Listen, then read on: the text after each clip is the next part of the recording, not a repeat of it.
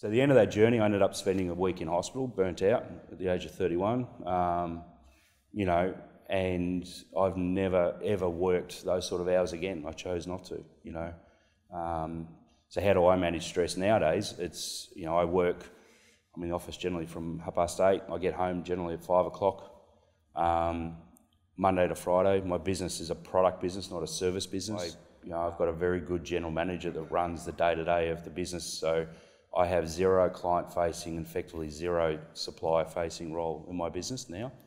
Um, and that comes with a cost, but at the same time, it gives me the freedom to be able to do what I want to, what I choose to do. So, um, you know, my view of business and uh, so when I with the accelerator program at EO that we involved with, you know, for me, the businesses are there a vehicle to fund the lifestyle that I want to create for myself and my kids.